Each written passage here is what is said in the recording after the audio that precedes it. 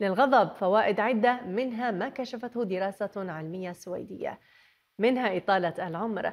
الدراسة أجريت على مشاركين تتراوح أعمارهم بين 59 و 93 عاما.